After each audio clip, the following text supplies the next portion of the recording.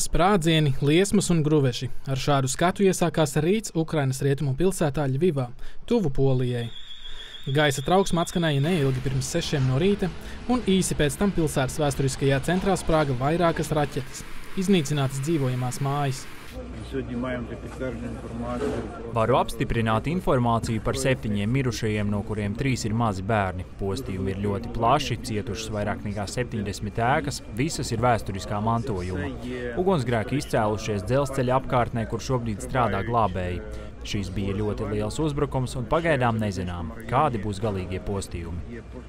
Ukrainas gaisa spēki ziņo, ka Krievijas karaspēks pret mērķiem Ukrainas teritorijā izšāvis 13 raķetes, no kurām 7 izdevās notriekt. Pretinieks palaidis arī 29 uzbrukuma dronus. Vietējie iedzīvotāji stāsta, ka gaisa trauksme Ļvivā atskanējusi vien īsu brīdi pirms pirmajiem triecieniem. Daži pat nesaņēma informāciju par gaisa trauksmi. Diemžēl elektroapgādes trūkuma dēļ nebiju uzlādējusi savu telefonu, tāpēc nesaņēmu ziņu par trauksmi. Redzēju eksploziju, mani pārklāja putekļi un gar seju aizlidoja milzīga stikla lauska. Man paveicās un guvu tikai vieglus ievainojumus. Pēc kādas minūtes dzirdēju necilvēcīgus kliedzienus. Glābiet, glābiet! Neviens tajā brīdī neaptvērām, kas notiek.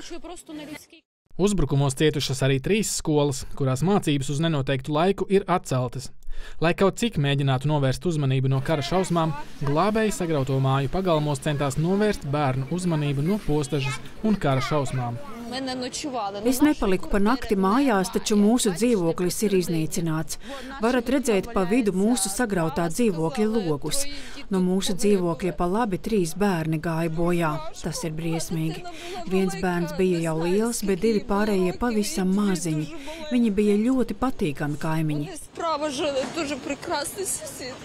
Ukrainas prokuratūra paziņojusi, ka uzsāk izmeklēšanu par kara noziegumu pastrādāšanu un tīšu slepkavību. Ļivivā strādā gan vietējie, gan starptautiskie izmeklētāji, lai vāktu pierādījumus. Ukrainas prezidents Volodimirs Zelenskis notikušo Ļivivā ir nosaucis par Krievijas teroru pret Ukrainas pilsētām un uzsvēris, ka Ukrainai ir jābūt iespējai taisnīgi uz to atbildēt. Zelenskis jau vairāk kārt ir aicinājis rietumus atļaut izmantot tāla darbības rādījus raķetes pret militāriem objektiem Krievijas teritorijā, kas iznīcinātu Krievijas iespējas apšaudīt Ukrainas pilsētas. Kristaps Vanaks, Latvijas televīzija.